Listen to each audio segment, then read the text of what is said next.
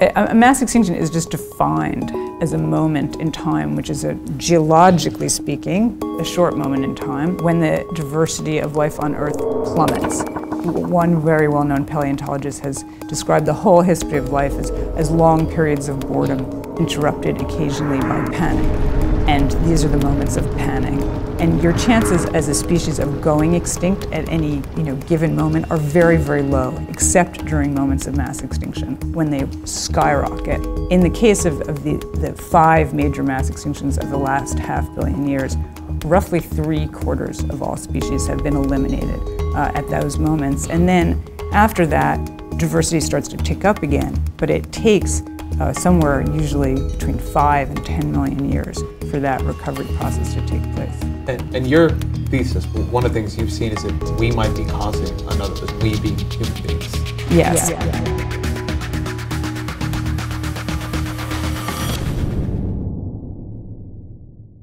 We're, we're really inured to extinction, so we see stories all the day. There was just a story, uh, I think it was today, uh, about how you know lemurs, 90% of all lemurs uh, on Madagascar, 90% of the species are endangered. Many are critically endangered, down to like 18 individuals. So we're just like, oh, another extinction, as if that's something that happens all the time. But what what history shows us is that if you, if you, Ezra Klein, you know, can see one species going extinct in the course of your lifetime, right? You're, you're a young man. You've already, the species have already gone extinct in your lifetime. Uh, something really unusual is going on. You should not be able to see a single species of mammal go extinct in your lifetime.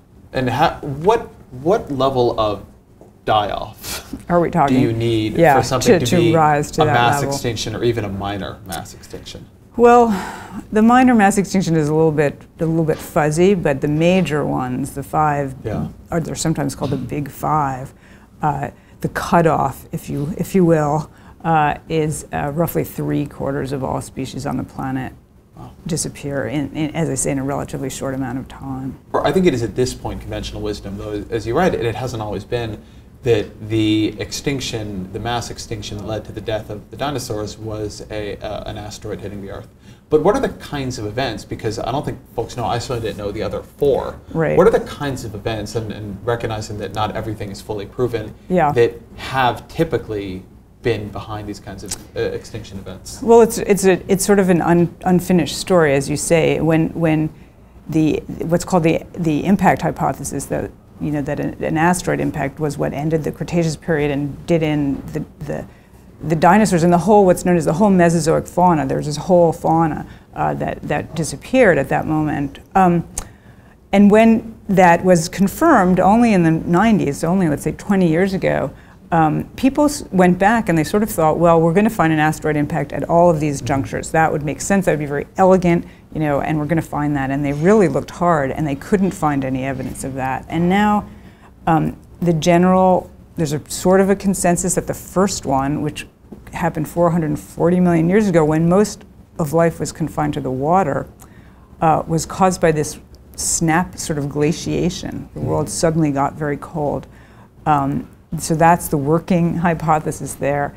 Uh, the most severe mass extinction of all time was about 250 million years ago at the end of the Permian period, and uh, it seems pretty clear that that was caused by some kind of massive outpouring of carbon dioxide, which caused really serious global warming and acidified the oceans, changed the chemistry of the oceans very radically. And one of the really sobering things uh, to think about is that is what we're doing, massively pouring carbon dioxide uh, into the air and into the water. Uh, so increasingly, people are drawing parallels between what we're doing uh, and the worst mass extinction of all time. So what do we think happened though? I mean, obviously uh, at that period we didn't have a lot of SUVs roaming the world. So yeah, how did all the yeah. carbon dioxide get released? Well, you've, you've right. You've put your finger on a, on a big scientific mystery, to be honest. I'm um, an incredible scientist. Yeah, yeah. Where did it come from? It's so it was so much carbon dioxide that it's very been very difficult for people to um, even think of what the source might be. And and the sort of lead candidate is um, a sort of burst of, of, of, volcanism, these volcanic events that happen and create these huge, what are called igneous provinces. A lot of Siberia is covered with this ancient lava from this event.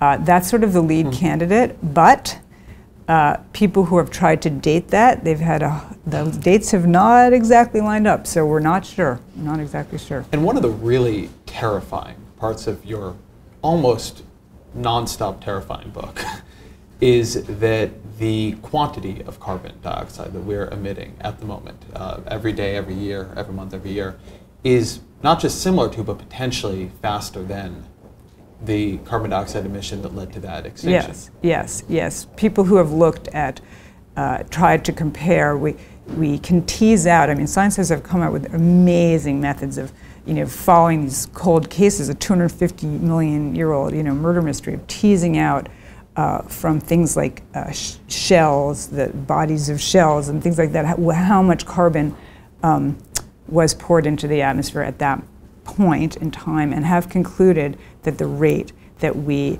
are pouring CO2 into the air is certainly comparable and perhaps greater than uh, was occurring then. So this I thought was one of the really fascinating, like conceptual things I learned from the book that I, I had not, I think, ever understood or put my finger on before, which is the thing you really emphasize is the rate of change in kind of the rules of survival. So the issue is not that the world has not changed before, it's just it does so on very slow geologic um, time frames. But that right. in these mass extinction events, it's usually not necessarily the, the singular impact or the one or the, you know, it's not that everybody dies in the lava, it's that oftentimes what happens then changes uh, the temperature, changes the climate, it changes the oceans, and it does so at a rate of change that uh, organisms simply can't adapt to. The way you say it in the book is that the rules of life change more rapidly than, than, than life can actually keep up. Right. Um, and I thought that was fascinating because I think that that that is in some ways to me what really offends or, or is a problem with our intuition around global warming that things seem to us with our tiny blink of the geologic eye lifespans to be happening slowly. It's not right. that much warmer it was than a week ago but that in terms of the earth and in terms of how rapidly species evolve this is like shocking dramatic fast forward training montage style change.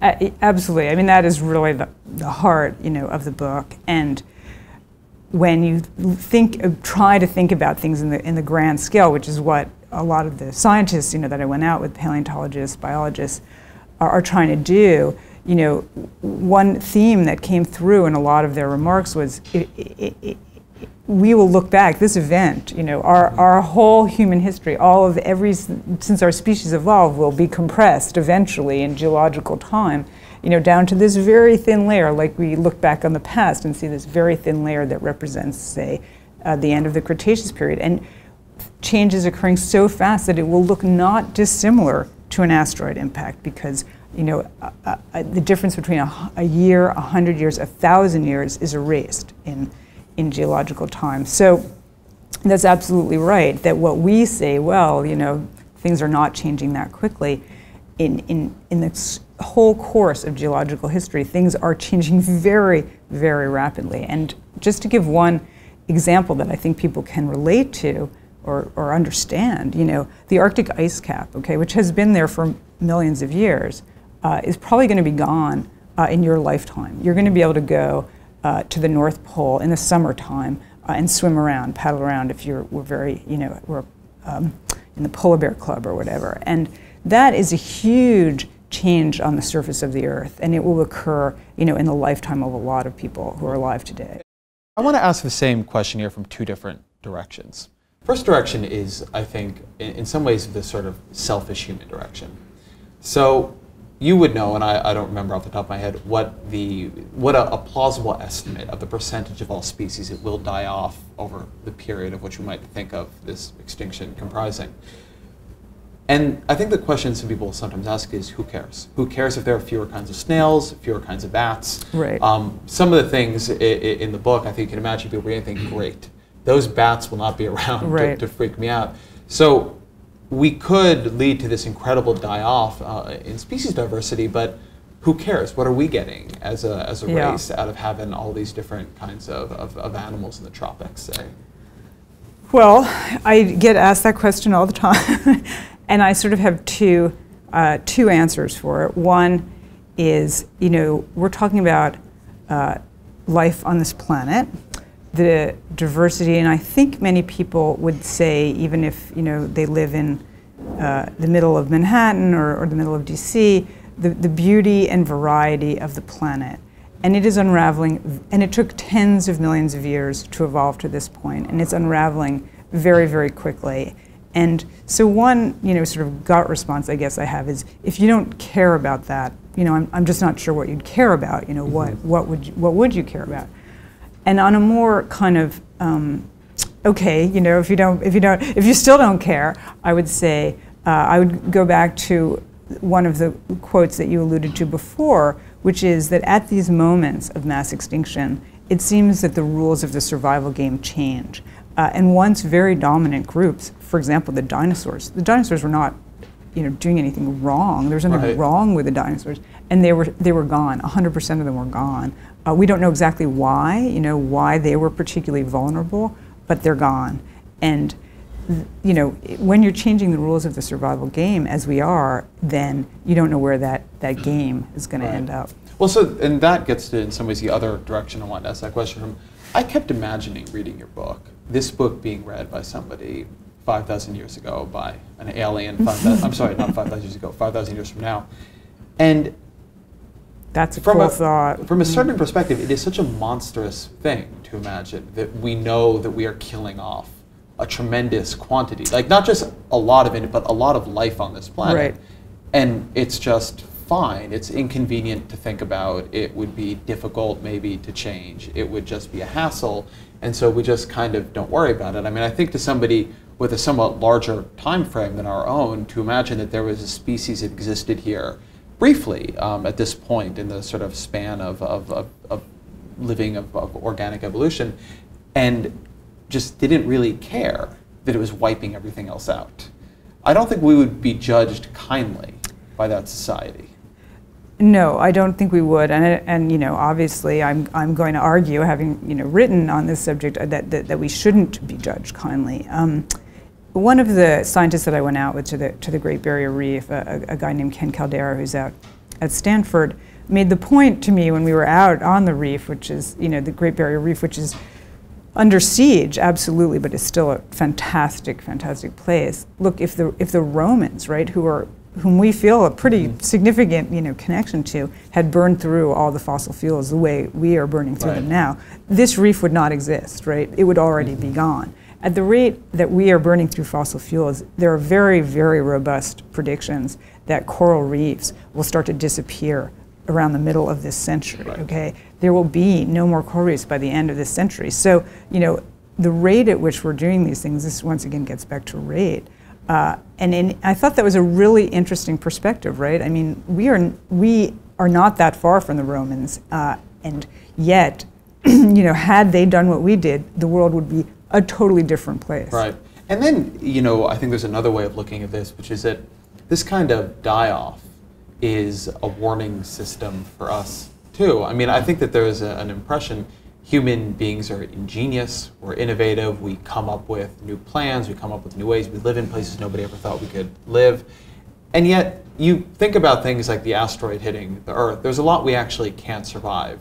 Earthquakes, fires rip through, um, rip through forests, and it turns out that oftentimes tsunamis, in the face of really tremendous natural disaster or change, our capacity to endure is not always what we'd hoped back um, in 2006, when you wrote your last book, the global sort of goal was to keep warming under 2 degrees Celsius. It now looks very clear that we're going to blow by that. Um, we may go up to 4. It's plausible that we could go higher over the next couple hundred years. That's a swing that is bigger uh, upward than the downward swing to the Ice Age, or at least is comparable in size.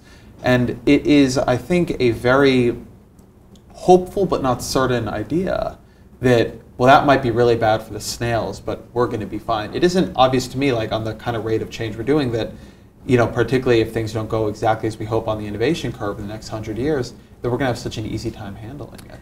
Well, there, there's, you know, when you deal with human beings, you're, you're, you're, you are dealing with a creature that, you know, what, certainly one of the main points is, of my book is you're, you are dealing with a creature that's very different from a snail that has this world altering capacity. Um, but there are two, two levels at which you have to consider the future of, of, of hu human beings and humanity. And one is, uh, you know, on the level of the species, right? So you know, species can survive if a few individual, you know, if a few dinosaurs had survived, you know, we might well still have dinosaurs.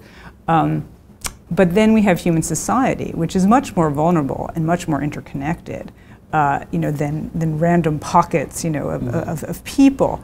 Um, and I think, once again, this is not an original idea at all, but many, you know, sort of people who are looking at, at this issue would say, well, okay, what's, what's really uh, under, under very serious risk here, what we're really, really putting at risk, uh, is not necessarily our own survival as a species, because uh, we are very clever and you know there are a lot of us and we live all over the planet mm-hmm. which is extremely unusual most species do not right. uh, but our society depends on stability right.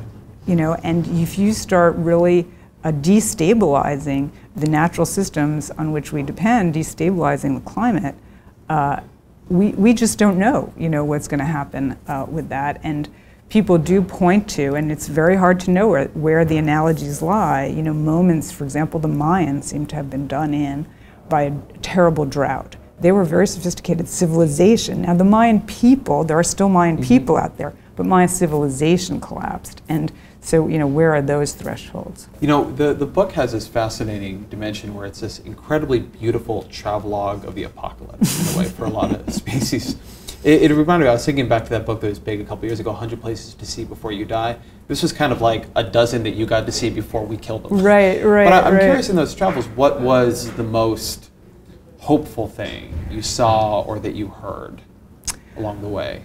Yeah, that's a good. That's a really good question. I, I went to the to the Amazon, and um, it's not actually in the book, um, but I went out into the forest with a, people who were actually trying to sort of incentivize, to use the current term, people, you know, not to chop down the rainforest, not to illegally log. And so we talked to some of these people who used to make a living, and it wasn't a good living, to be honest, illegally logging. And for a relatively small amount of money, you know, they had been converted to people protecting the forest. And that was a very um, that was really a great experience and a moving experience, and, and it was a very small scale thing. You know, mm-hmm. it had to be would have to be ratcheted up by you know a, a million fold or whatever. But it it was a hopeful thing that people, you know, who who had seen themselves as having an investment in cutting down the forest could could turn within a relatively short amount of time to seeing themselves as having an investment in in not cutting down the forest. Um,